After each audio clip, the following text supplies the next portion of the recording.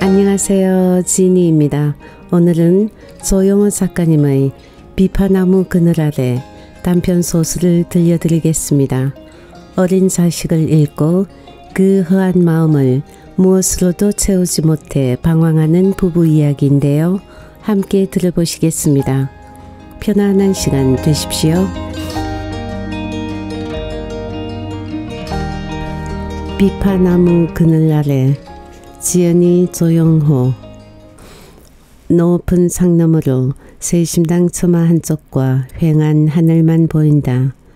세심당은 허공에 떠 있는 것 같다. 미황사에 온 날이 어제인지 3일 전인지 심지어는 한 달 전인지조차 가물거린다. 어쩌다 이곳 땅끝 달마산까지 오게 됐는지 스님에게 물어도 희미한 미소만 지을 뿐 분명한 대답을 하지 않는다. 점심 공양을 마친 뒤 부도원까지 산책을 다녀왔다. 부도원에 가려면 짙은 청록의 화렵수림이 무성한 숲속으로 한참이나 걸어 들어가야 한다. 병풍처럼 늘어선 달마봉 바위 아래 노란 원추리와 개망소에 둘러싸인 부도밭에서 고승들은 저마다 다시는 깨어나지 못할 깊은 잠에 빠져 있었다. 날벌레들이 끊임없이 귀전을 맴돌며 시끄럽게 궁금만 빼고는 맑은 새소리며 멀리 해무가 낮게 깔린 다도해의 풍경은 쾌적하고 정겨웠다. 이렇게 풍광이 좋고 아무도 간섭할 리가 없는 곳에 있다 보면 나의 기억력도 조금씩 회복될지 모른다. 의사는 장기간 술을 끊고 영양을 보충하면 점차 나아질 수도 있다고 충고를 했다 한다. 일어나서 덧창을 연다. 등굴들이 친친 휘감아 올라간 화렵수들은 세심당 아래로 암록의 수혜를 이루고 있다. 아스라에 퍼져 있는 해무는 갈데 없는 구름 형상이다. 아닌 게 아니라 요즘은 구름을 밟고 서 있는 느낌이다. 기분이 좋다는 황홀한 얘기가 아니다. 발 아래가 금방이라도 꺼져버릴 듯한 불안한 하루하루를 보내고 있다. 무심코 걷다가 계단이라도 헛밟은 양 깜짝깜짝 놀란다. 어쩌다 이렇게까지 됐는지 답답하다. 오늘은 기필코 스님에게 내가 미황사에 오던 날의 풍경을 물어보아야겠다. 어쩌다 이곳에서 하루 세껴의 공양을 죽내며 민폐를 끼치게 되었는지 나 같은 하찮은 미물을 이렇게 받아들여주는 이유가 무엇인지 관음보살님의 대자 대비한 값이 덕일지는 모르나 이렇게 식구들도 많지 않은 조용한 절에서 군 식구를 아무 말 없이 거두기는 쉬운 일이 아닐 것이다. 아내가 언제 어떻게 내 곁에서 사라졌는지에 생각이 미치면 가슴만 무거워질 뿐 뚜렷하게 기억이 나질 않는다. 아내는 예전에도 그랬던 것처럼 소리 없이 내 곁에서 다시 사라져 버렸다.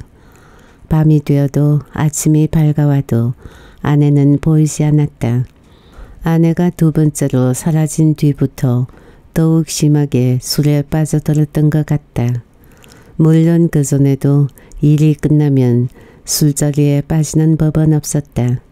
하지만 아내가 마지막으로 종적을 감춘 뒤에는 술자리가 생기지 않아도 스스로 어떤 명분이라도 만들어 기어코 술자리를 펼쳤다. 그런 자리조차 없을 때는 자주 가는 단골 식당에 들러 소주 한 병 정도는 혼자서라도 마셔야 집에 갈 수 있었다. 술을 마시고 난 다음날 아침에 지나간 밤은 항상 암전이었다. 술자리에 갈 때까지만 어려운풋이 기억날 뿐 그 뒤의 일은 항상 희미했다.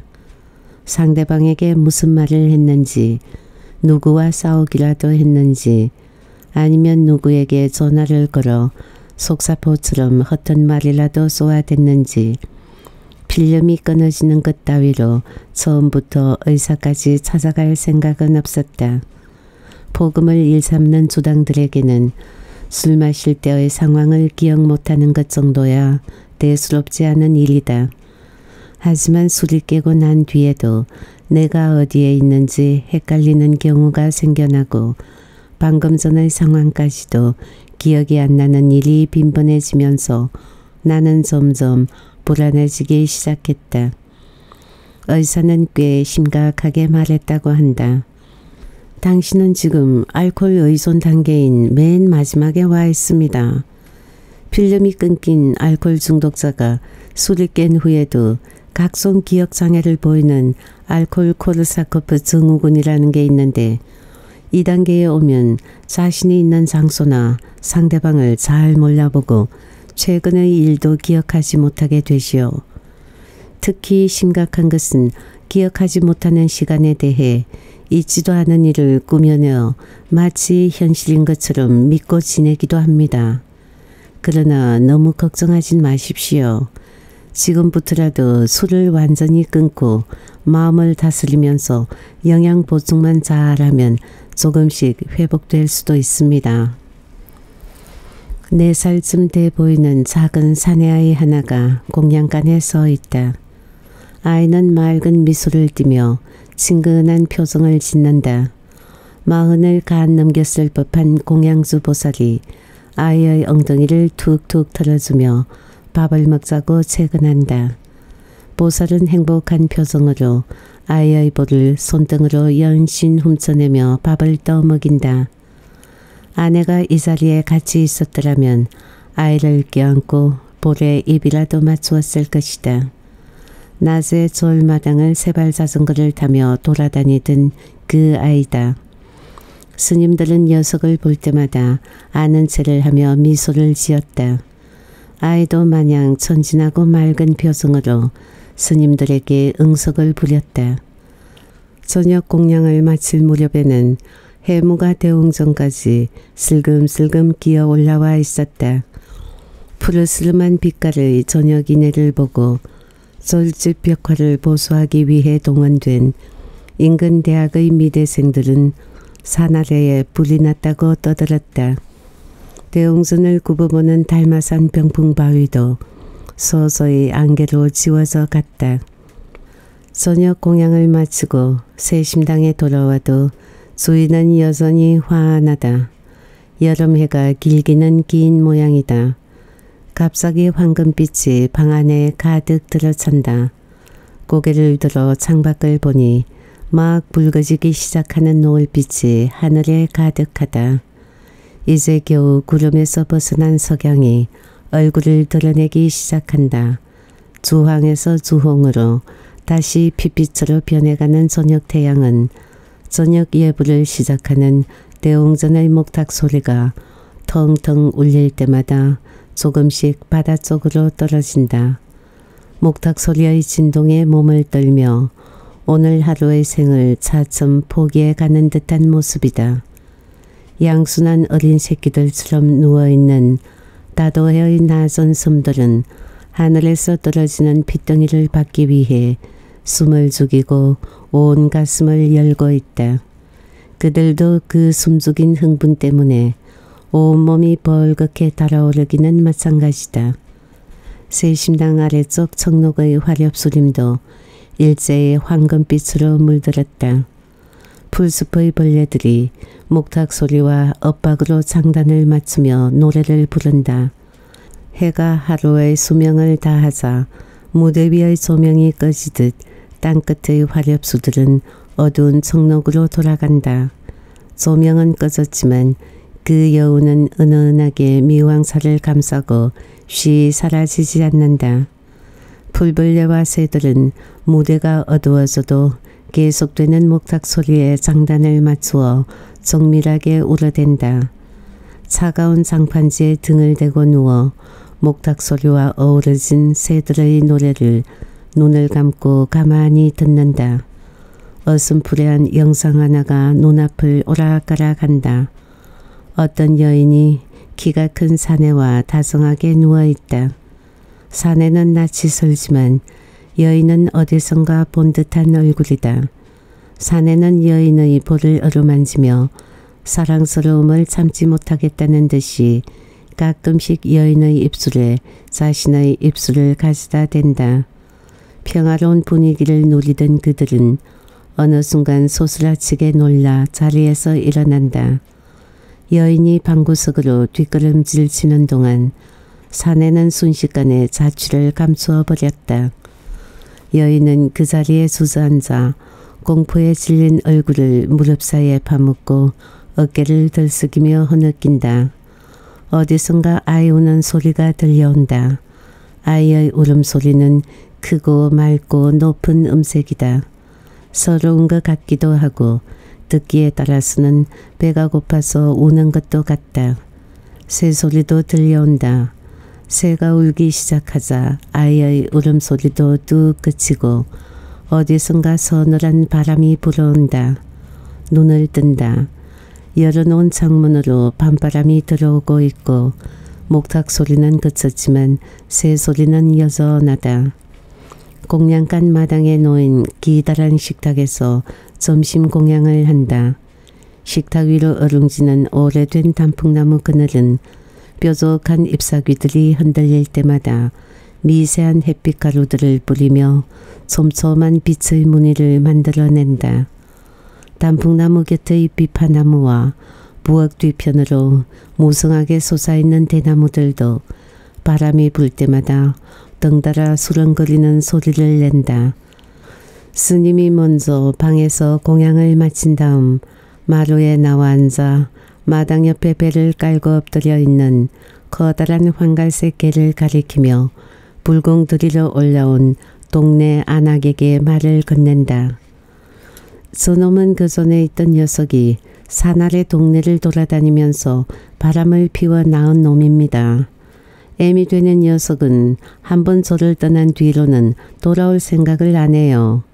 그 녀석을 보았다는 사람들은 덜어 있는데 사람들에게 친근하게 다가오지 않고 야생동물처럼 저 혼자 떠돌아 다닌다더군요. 거기에다 성질도 아주 사나웠었대요. 스님과는 오래전부터 면식이 있었던 양 스스럼이 없는 안악은 엉뚱하게도 자신이 기르던 개가 죽자 선도를 부탁하러 올라온 모양이었다. 아이고 스님 좌우지간 사람 천도하는지도 바쁘신디 이런 것 가장 부탁이어서 정말 죄송하지만 말이라 제가 신경 참 써주시더란께요. 그놈이 어찌나 살아생전에 우리 집 식구들을 따랐는지 다른 집 개들은 모다 복날에 잡아먹어도 그놈만큼은 우들이 절대적으로다가 보호했구만이라오. 그럼 지는 밥도 먹었으니 그만 갈라요. 안악은 치마 속주머니에서 꼬깃꼬깃한 만원짜리 지폐 두 장을 꺼내어 애써서 반듯하게 편한 신용을 하며 스님에게 천도 비용으로 쓰라고 떠맡긴다. 스님은 할 일 없이 알았다고 대답하며 웃는다. 아내도 강아지를 유달리 좋아했다. 아이가 죽은 뒤에는 거의 강아지에 매달려 살다시피 했다. 정성을 들여 목욕을 시키고 강아지의 털을 커다란 빗으로 자주 빗겨주곤 했다. 하지만 그 녀석이 함부로 아파트 거실에 실례를 한 뒤 구석에 쪼그리고 앉아 끙끙거리는 날이면 모질게 매질을 했다.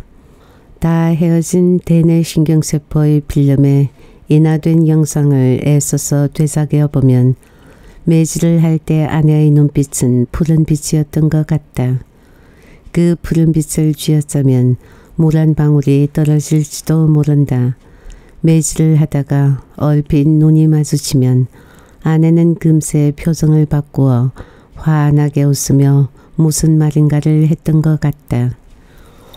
우리의 아이가 태어날 때 내지르던 그 우렁찬 울음소리는 아내와 나에게는 황홀한 기쁨의 노래로 들렸다. 건강한 남자아이였다. 하지만 불행하게도 그 아이는 우리들 곁에서 만 6년을 살다가 저 세상으로 먼저 떠났다. 아이의 육신은 화장을 한 뒤 납골당에 안치했다. 사람들은 그 납골당을 죽은 자들의 아파트라고 불렀다. 서울시 본청에서 근무하다가 시설관리공단 산하의 그 납골당 업무 속으로 굳이 근무처를 옮긴 것은 아이가 외롭지 않도록 조금이나마 가까이에서 어린 영혼을 위로하고 싶었기 때문이다. 정확하게 말하자면 나의 의지보다는 아내의 뜻이 더 강하게 작용했다고 볼 수 있다. 아내의 모승은 동물적인 구석이 있었다.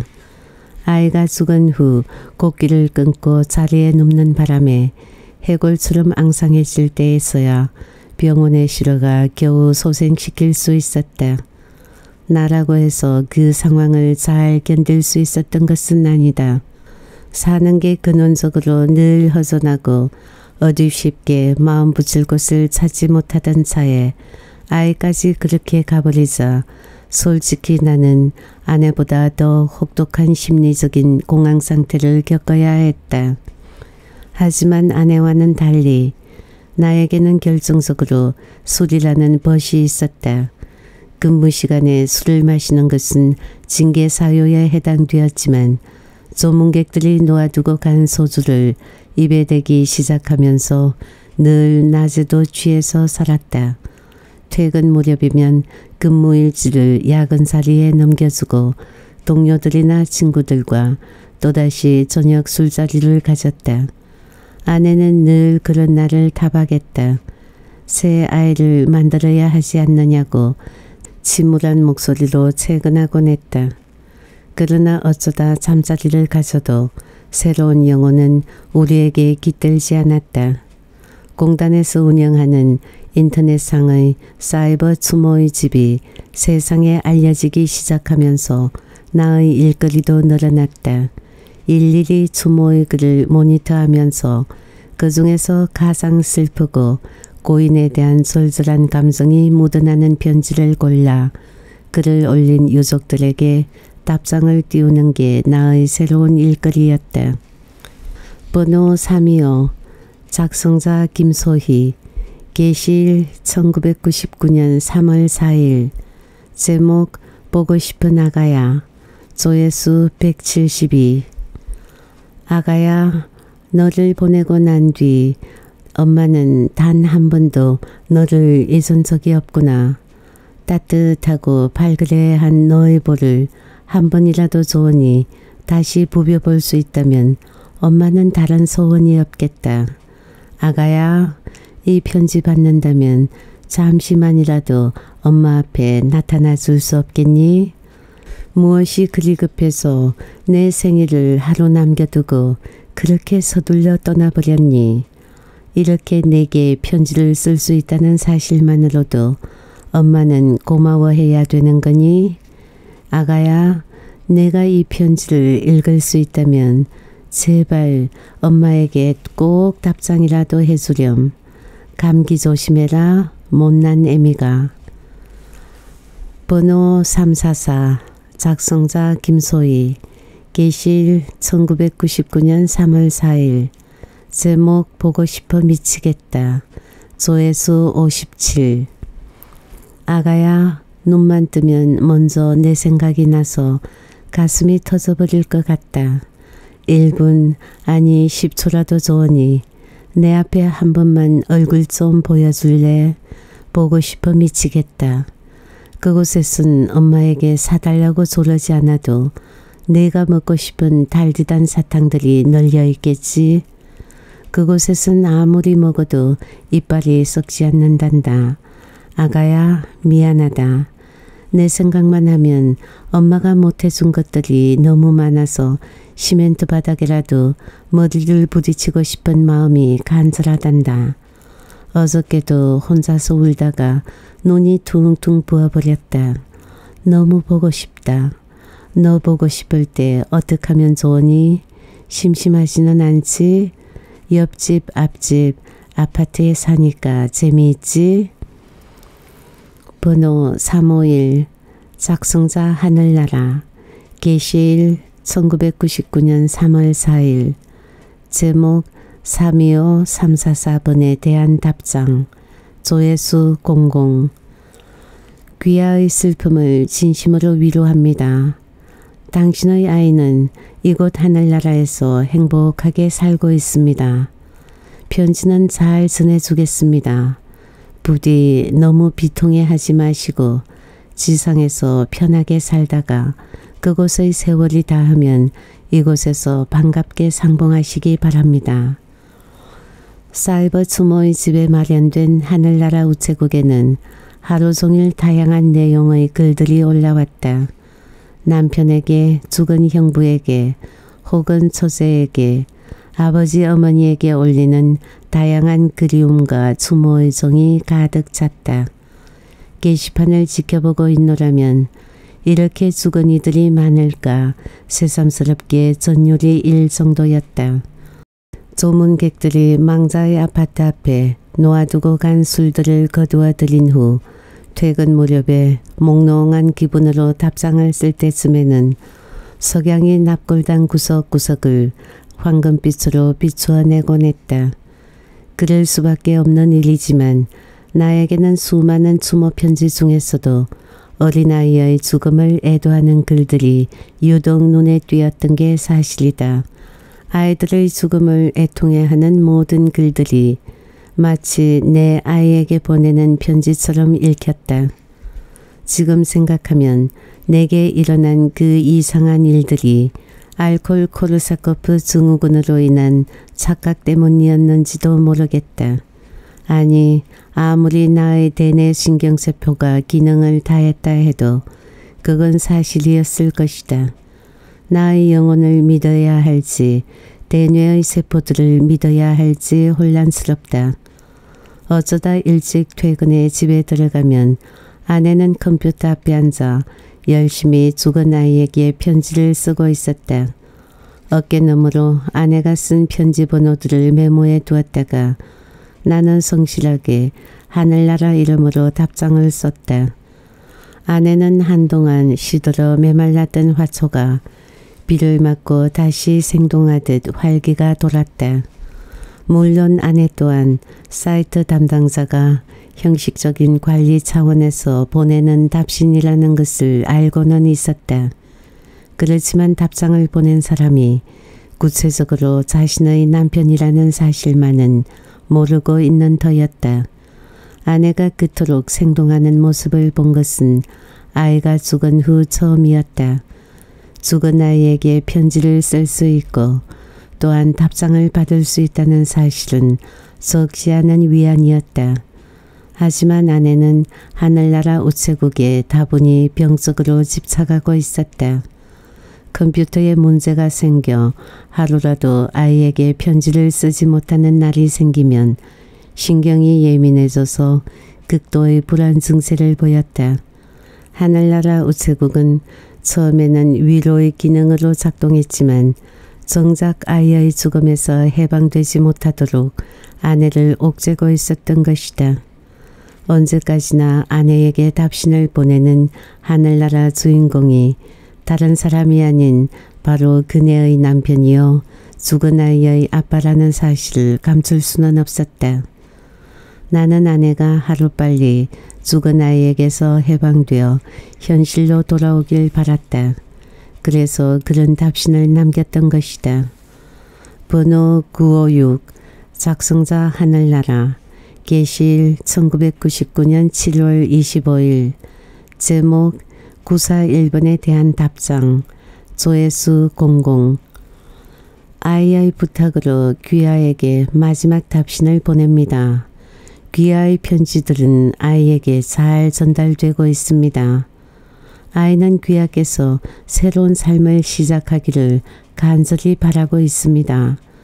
귀하의 슬픔을 위로하기 위해 당신의 둘째 아이의 몸을 빌어 다시 돌아가겠다고 하오니 귀하께서는 다시 올 새 아기를 위해 마음을 가다듬으시고 새 생활을 도모하시기 바랍니다. 아내가 하늘나라 우체국에 주술적인 차원으로까지 의지했던 만큼 답신의 효력은 금방 나타났다. 아내는 내가 아무리 늦은 밤에 술에 취해 귀가해도 그냥 자지 않았다. 내 사타구니를 더듬으며 가슴 패기로 파고들곤 했다. 하지만 새 아이는 쉽게 오지 않았다. 아내의 성화 때문에 함께 병원을 찾기도 했다. 의사는 아내는 물론 나에게도 아무런 문제가 없다고 아주 심드렁하게 말했던 것 같다. 그렇게 불임의 세월 그 몇 달이 흐르자 아내는 다시 절망하기 시작했고 그 전부터 바깥 나들이가 잦아졌던 것 같다. 그리고 훌쩍 온다 간다 말도 없이 사라져버린 것이다. 바람이 불자 밤새 열어놓은 덧창이 벼락치는 소리를 내며 창틀에 부딪히는 바람에 잠에서 깨어났다. 비도 오지 않는데 숲속의 나무들이 일제히 바람에 흔들리며 저마다 소리를 내기 시작하자 밤의 정막은 완전히 깨져버렸다. 폭풍우 치는 날 바다의 파도 소리와는 사뭇 다르다. 바람 부는 수야의 파도 소리는 곡성처럼 길고 깊은 장단을 지녔다. 나무들이 저마다 산발한 채 바람이 부는 방향에 따라 일제히 몸을 기울이며 아우성을 친다. 나무들의 아우성을 빼놓고는 절가는 깊은 정적 속에 빠져 있다. 심한 갈증이 느껴져 바람 부는 바깥으로 나선다. 하늘에는 별들이 촘촘하게 박혀 있다. 대웅전 앞 너른 마당 귀퉁이에 흐르는 차가운 샘물로 목을 죽이기 위해 캄캄한 계단을 조심스럽게 올라간다. 순간 개 짖는 소리가 요란하게 정적을 깬다. 온몸의 솜털이 쭈뼛거린다. 낮에 공양간에서 보았던 황갈색의 개가 뛰어나오더니 주변을 맴돌며 사납게 짖는다. 모두가 잠든 밤에 캄캄한 대웅전 앞마당에서 사나운 개는 절간 사수를 책임이라도 지겠다는 듯 자지러지게 지저대며 바지를 슬쩍슬쩍 이빨로 물어 뜯는다. 언제 살까지 물을 뜯길지 모른다. 섬뜩한 공포가 밀려든다. 개에게 공격의 빌미를 주지 않기 위해서는 그 자리에 고목나무처럼 붙박여서 꼼짝도 하지 말아야 한다. 샘물은 정적 속에서 더욱 큰 소리로 흘러내리고 개는 주변을 계속해서 맴돌며 내 손가락을 길고 축축한 혀로 핥기까지 한다. 바람난 어미가 낳은 새끼, 그 새끼가 이렇게 커서 사람을 꼼짝 못하게 위협하는 훌륭한 솔직이 개로 성장한 것이다. 오랫동안 서 있었던 것 같다. 천천히 움직여 보니 개는 다시 컹컹 짖으며 앞을 막아선다. 그때 구원의 불빛처럼 대웅전 앞 요사체에서 사람의 목소리가 들려오면서 랜턴의 긴 불빛이 마당을 비춘다. 새벽 예불 시각이 된 모양이다. 목탁 소리가 수야의 파도 소리에 뒤섞이기 시작하자 절가는 순식간에 다시 살아난다. 그제서야 개는 대웅전 뒷전으로 슬그머니 사라진다. 스님 한 분이 개를 맞아들여 목덜미를 부드럽게 쓰다듬으며 속삭이는 소리가 들린다. 다음 생에는 부디 사람의 몸을 바꿔라. 그동안 별일 없었지요? 우리 아기 좀 보세요. 너무너무 예쁘죠? 보세요. 우리 금동이를 똑 빼다 담지 않았어요? 아내는 며칠간 어디 친정 나들이라도 다녀온 여자처럼 스스럼 없이 말했다. 사라졌던 아내가 갓난아기를 안고 돌아온 것은 집을 나간 지 8개월 만이었다. 아내의 얼굴은 기쁨으로 가득했다.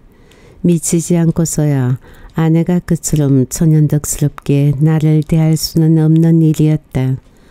나의 몸과 정신은 그 즈음에는 술로 인해 연옥 근처까지 내려가 있었다. 태어난 지 갓 한 달이나 될 성싶은 아이는 새까만 눈동자를 빛내며 방실방실 웃었다. 우리 아기라니 그렇다면 아내는 그동안 아이를 낳으러 어디 다녀오는 길이란 말인가. 혼란스러운 기억을 정리하느라 채머리를 흔들었다. 하지만 아무리 나의 대뇌 신경세포가 형편없이 망가졌다 해도 아내가 임신했다는 얘기는 들어본 적도 없고 집을 나가면서 이런 방구 이렇다 저렇다 나에게 이해를 구했던 일도 없었다. 아내는 아이를 보료 위에 눕혀놓고 젖병을 잡는다 기저귀를 빤다 여기저기 집안 청소를 한다 부사하게 움직였다. 나는 거실 소파에 앉아 아내의 행동을 멍하게 지켜보는 수밖에 없었다. 아이가 배가 고픈지 소리내어 울기 시작하자 아내는 정신없이 달려가 아이를 품에 안고 가슴패기를 헤집어 젖을 물렸다. 한 손으로는 아이의 공둥이를 받치고 얼으면서 노래까지 불러주었다. 아이의 이름은 정했소. 애써 마음을 진정시킨 뒤 짐짓 아이의 이름을 물었다. 이름은 옛날에 우리가 지었잖아요. 얘가 다시 이승에 온 건 비록 한 달밖에 되지 않지만 나이는 교전에 살던 것까지 합하면 벌써 아홉 살이에요. 우리 금동이 벌써 있었어요? 아내는 조금도 감정이 흔들리지 않는 모습으로 천연덕스럽게 대답했다. 어이가 없었지만 아내의 하는 양을 좀 더 지켜보기로 했다. 아니 솔직하게 말하자면 그 아이는 내가 뿌린 씨앗이었고 나의 치매 현상 때문에 그동안 그 사실을 까맣게 잊고 있었던 것이라고 굳게 믿고 싶었다. 아내가 돌아왔으니 시시비비를 가리기에는 시간이 충분했다. 그리 급하게 몰아붙일 일이 아니었다. 더욱이 지금 아내는 갓난아이를 품에 안고 있는 어미가 아닌가. 아무리 미물이라 하더라도 새끼를 보듬고 있는 어미를 다그칠 수는 없는 일이었다. 하지만 이미 나의 언어들은 통제를 벗어나 시위를 떠난 뒤였다. 암내를 풍기며 저작거리를 돌아다니다 새끼 하나 나온 게 그리 대단하다고 내 앞에서 위세를 떠는 거야? 새끼가 당신에게는 세상 모든 인연보다 더 중한가? 이 씨알머리도 모르는 새끼가 그래 내 새끼라고? 말이 한 번 터지자 걷잡을 수 없었다. 처음에는 차근차근 따져보려 했지만 목소리가 나도 모르게 높아지더니 급기야 고함을 치는 형국이었다. 아내는 아이 옆에서 불화살이라도 맞은 듯 굳어진 표정으로 나를 빤히 바라보고 있었다. 눈가에는 예의 푸른 빛이 감돌고 있었다. 아내의 침착한 표정에 더욱 흥분이 된 나는 말 대신에 아이 옆에 놓여있던 젖병과 기저귀 따위를 발로 차다가 급기야는 싱크대 위의 유리 그릇들을 닥치는 대로 바닥에 팽개쳤다. 아이가 사지러지게 울기 시작했지만 아내는 꿈쩍도 하지 않고 돌부처처럼 그 자리에 앉아 아이만을 뚫어져라 응시하고 있었다. 아내의 침묵이 나를 더욱 흥분하게 만들었다. 나는 뛰어가 아이를 덥석 안아서 현관 쪽으로 달려나갔다. 그제서야 아내는 불에 댄 듯 화들짝 놀라 기겁을 하며 필사적으로 나에게 달려들어 아이를 빼앗으며 소리쳤다. 아이에게는 털끝 하나 손대지 말아요. 당신 씨고 아니고가 그리 중요해요? 아이는 분명히 내가 낳았어요. 그리고 분명히 죽은 금동이가 다시 돌아온 거예요. 금동이도 당신 씨가 아니었나요? 생명이란 게 누구의 씨라서 소중하고 다른 사람의 씨면 함부로 다루어도 되는 건가요? 당신 정신이 멀쩡한 사람이에요? 나는 어이가 없어 아내를 그저 쳐다만 볼 따름이었다. 아내는 분명히 제정신이 아니었다. 금동이가 죽은 게 그리도 큰 상처를 남겼을까. 그 상처에서 헤어나오는 길은 꼭 이 방법밖에는 없었단 말인가. 행여나 나의 빈약한 대뇌 신경세포를 의심하며 저 아이가 나의 씨였기를 바랐지만 아내는 여지없이 나의 기대를 짓밟아 버렸다. 거짓말이라도 좋으니 명확하게 저 아이가 내가 뿌린 씨였다고 말해준다면 나 또한 종국에는 그리 믿고 말았을 것이다. 아내는 거기에다 결정적인 쉐기까지 받고 나섰다. 당신도 하늘나라 우체국에서 보냈던 답신을 기억하지요? 그 답신에서 누구의 실어야만 내 배를 빌려 다시 올 아이가 금동이라고 못 박은 적 있었나요? 두 번째 아이야말로 금동이가 다시 올 그릇이라는 얘기가 아니었던가요? 당신 그 하찮은 씨알머리 때문에 우리 아이가 다시 우리 품으로 오겠다는데 막을 수 있는 건가요? 지금부터 당신 마음대로 하세요. 나는 다시 온 우리 금동이와 지옥 끝까지라도 같이 가겠어요. 지난밤에 잠을 설친 탓인지 눈을 떴을 때는 이미 아침 공양 시각이 지나버렸다. 세심당 아래쪽 숲에서 새들은 요란하게 노래를 부르고 있고 아침 해무는 달마봉을 감싸고 있다. 대웅전 앞 샘물로 얼굴을 씻고 스님이 계시는 달마선 쪽으로 걸어간다. 스님은 마침 뜨락을 산보하는 중이었다. 스님은 나를 발견하더니 반가운 표정으로 성큼성큼 걸어온다. 오늘은 처사님 안색이 비교적 좋아 보이십니다. 이리 올라와서 차나 한잔 하시지요.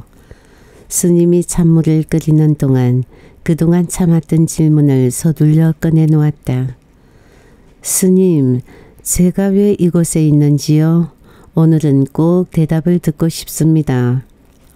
스님은 다하게 절배하게 놓인 찻잔들을 묵묵히 솔가지로 씻어낸 뒤 찻수건으로 깨끗이 닦고만 있다. 찻잔들을 말끔하게 닦아 한쪽에 나란히 진열해 놓은 뒤 스님은 눈을 들어 멀리 다도의 섬들을 감싸는 해물을 지그시 바라본다. 모든 것이 인연이지요. 처사님은 전생에 이곳 달마봉에 누운 소였을지도 모를 일입니다. 우리 부도원까지 산보나 하십시다. 달마봉의 소라니 스님은 더 이상 그 의미에 대해 부연하지 않고 자리에서 일어난다. 나 또한 묵묵히 스님 뒤를 따르는 수밖에 없다.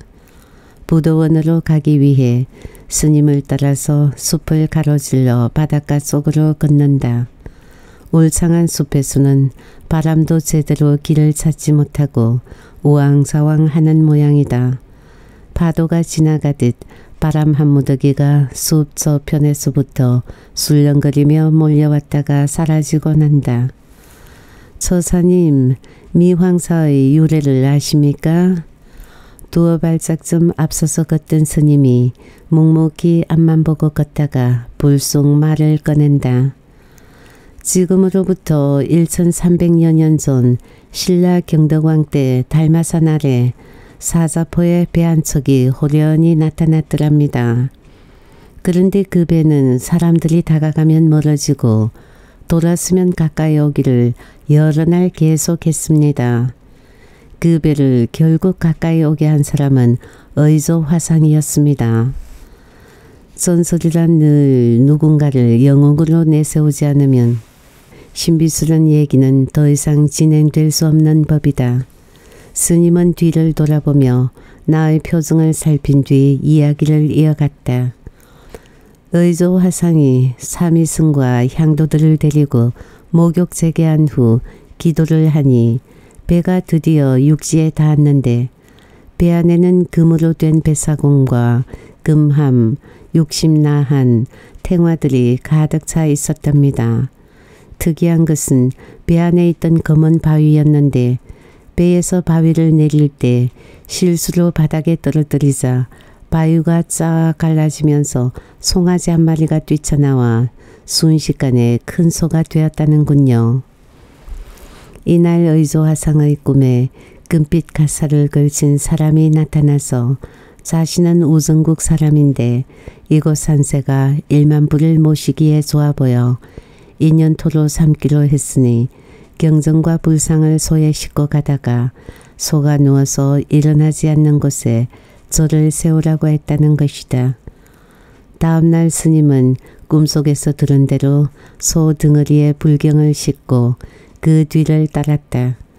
달마산 중턱에 이르러 소가 한번 넘어졌다가 일어나 한참을 가다 크게 울면서 다시 넘어지더니 일어나지 못했다. 그리하여 처음 소가 누운 자리에는 동교사를 마지막으로 누워 다시는 일어나지 못한 자리에 바로 미왕사를 세웠다는 전설이다. 동교사는 부도원 곁에 있던 바로 그 집이었다. 입적한 고승의 부도들이 밭을 이루고 있는 달마봉 밑의 숲속은 아늑하다 못해 신비로운 성적이 감도는 숨어있는 명당자리였다. 주춧돌만 남아있던 자리에 기둥을 세우고 썩가래를 얹는 공사가 진행 중이었지만 불사가 여의치 않은 듯 삽이나 수레 따위의 장비들만 주변에 널려 있고 폐가처럼 버려져 있었다. 이곳에서 소가 처음으로 휴식을 취했고 미왕사 자리에 이르러 바다를 바라보며 크게 세 번 울고 죽었다는 것이다. 그런데 왜 미왕사라고 명명했는지 아시겠습니까?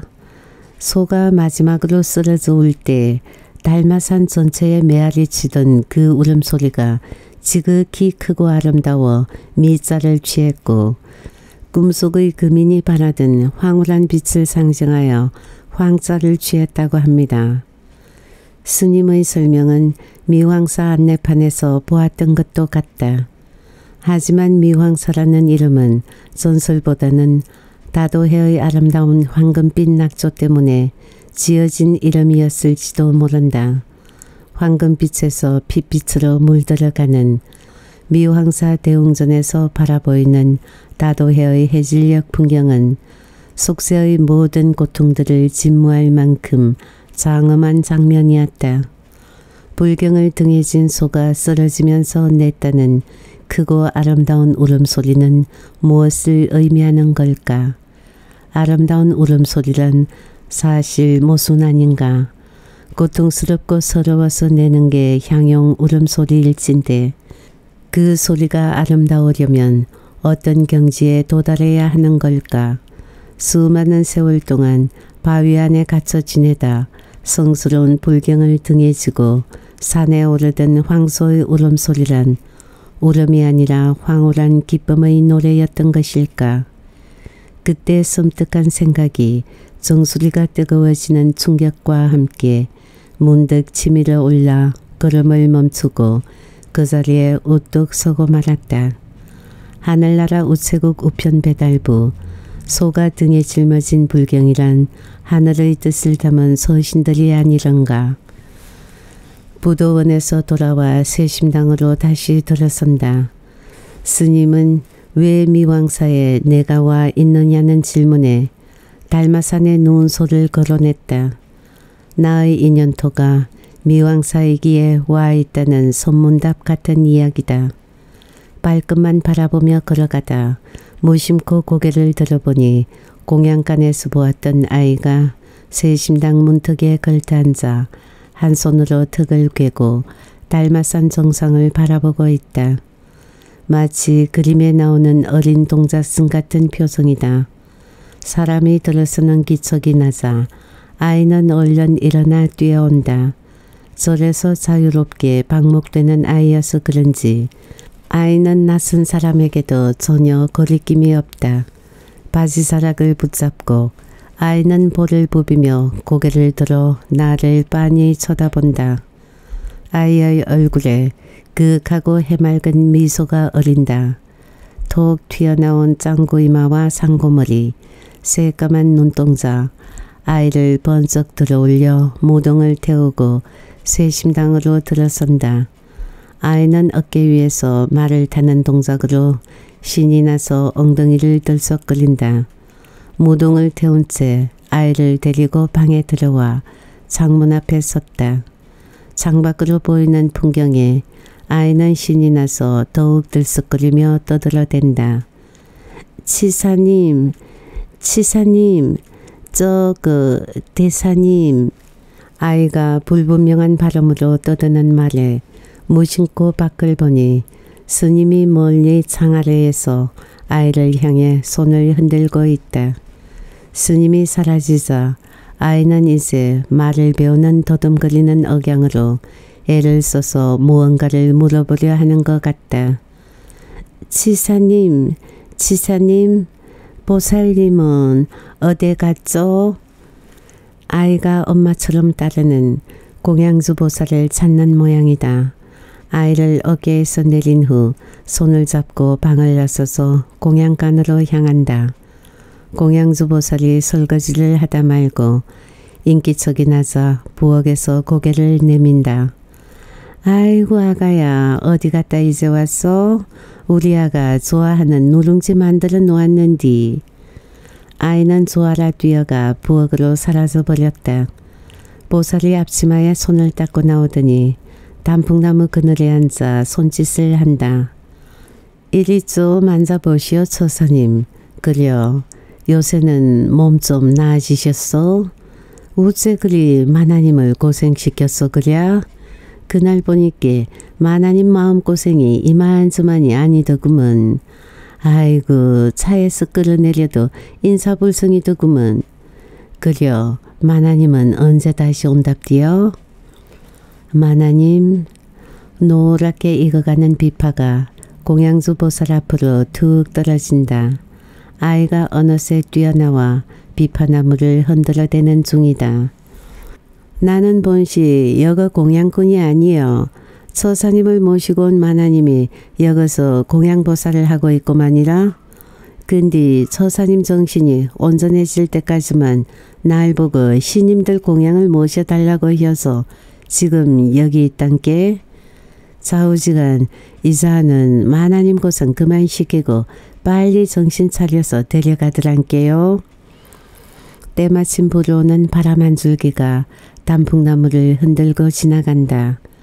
세상이 꿈인가 꿈속이 세상인가 내가 잠 속에 있는가 잠 속에 내가 있는가 아내가 이곳 미왕사에서 공양주 보살이었다니 아이가 흔들기에 힘이 붙이자 높은 가지에 노랗게 매달린 비파를 따려고 힘차게 뛰어와 제 몸을 비파나무에 부딪힌다. 아이를 번쩍 들어올려 비파 가까이에 아이의 얼굴을 가져간다. 아이는 얼른 노란 열매 하나를 딴 뒤 내 입에 열매를 들이민다. 입속에서 비파를 굴리다가 아이에게 입술을 맞추며 열매를 아이의 혀에 올려놓았다. 아이는 좋아라 다시 열매를 내 입속으로 작고 빨간 혀를 굴려 들이민다. 저수로 돌아간 줄 알았던 스님이 아이와 노는 모습을 비파나무 뒤에 앉아서 지켜보고 있다가 앞으로 나서며 나직이 얘기를 시작한다. 부인이 처사님을 이곳으로 모셔왔습니다. 처사님은 여기에 올 때만 해도 인사불성이었지요. 부인께서는 이곳에 가끔 와서 죽은 아이 천도제도 지내고 새 아이를 점지해 달라고 간절히 기도하기도 했습니다. 불공 들이는 모습이 하도 간절하고 극진해서 오랫동안 기억에 남았던 부인이었습니다. 나중에 이곳에 와서 봉사하고 싶다고 부탁했을 때 쉽게 받아들일 수 있던 것도 그런 인상 때문이었습니다. 젖먹이 하나 안고 와서 한 6개월 이곳에서 조이 일했지요. 아내는 간신히 이곳까지 나를 차에 태우고 와서 스님에게 신신당부를 했다고 한다. 내 정신이 온전해질 때까지만 이곳에서 아무 이야기도 하지 말고 돌보아 달라고. 내가 직장에서 강제로 퇴직당한 후 불황인으로 떠돌다가 일제 단속에 걸려 서울 시립갱생원에 수용됐었다는 얘기다. 갱생원 쪽에서 수차례에 걸쳐 가족과 연락을 시도했지만 아내가 집에 없어서 여러 단계를 거쳐 연락이 닿았다는 것인데 나는 적어도 그런 기억들은 전혀 나지 않는다. 이야기를 마친 스님은 다도의 쪽을 한참이나 바라보다가 달마전을 향해 비파나무 뒤편으로 천천히 걸어갔다. 스님이 자리를 비우자 아이는 다시 비파나무를 흔들기 시작했다. 날들어 믿으란 말인가. 알코올성 치매 환자가 지어낸 이야기 같은 저 이야기를 믿으란 말인가. 말도 안 되는 말이다. 아내는 분명히 집을 나갔고 이곳 땅끝의 절까지 와서 밥을 지을 여자도 아니거니와 분명히 아이의 씨앗 주인을 찾아가 지금쯤 황홀한 새 삶을 꾸리고 있을 게 확실하다. 공양주 보살과 스님이 하는 말이 거짓인가? 아니면 내 생각이 착각인가? 치매라는 게 분명 사람이 사람을 알아보지 못하는 병증도 보인다는데 지금 내가 그 병증에 심하게 사로잡힌 건 아닌가? 어느 쪽이 진실인가? 꿈이로다 꿈이로다. 모두가 다 꿈이로다 꿈을 깨니 또 꿈이요 깨인 꿈도 꿈이로다 머리가 깨질 듯이 아파서 조용히 공양간을 떠나 쇠심당으로 돌아와 깊은 잠에 빠져들었다.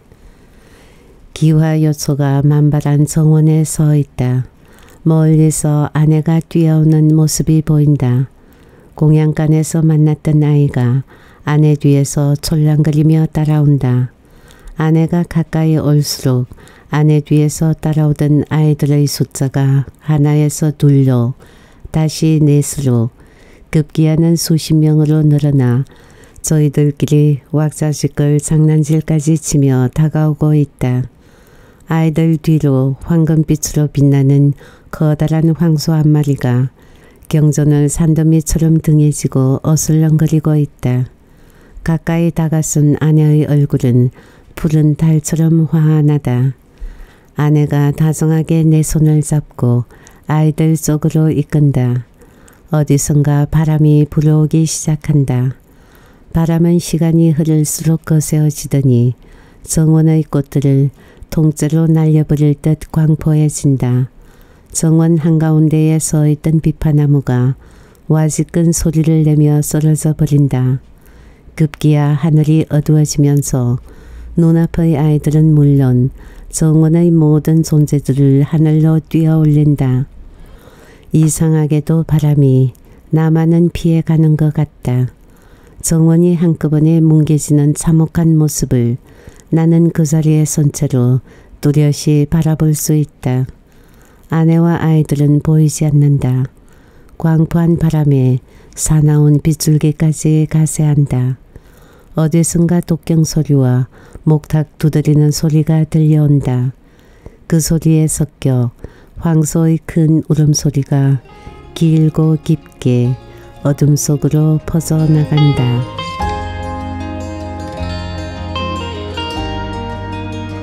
비파나무 그늘 아래 잘 들어보셨습니까? 이 세상 슬픔 중에서 그 무엇을 자식을 잃은 슬픔에 비기겠습니까? 두 부부의 애통한 마음이 가슴을 저리게 합니다.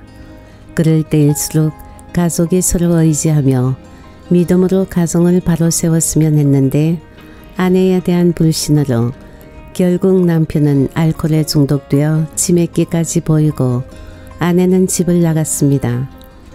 이 모든 것이 마치 꿈속인 듯 꿈속이 세상인가 내가 꿈속에 있는가 하며 남편은 현실을 인정하지 않으려 합니다. 어쩌면 우리가 사는 이 한 세상도 꿈이 아닐런지요.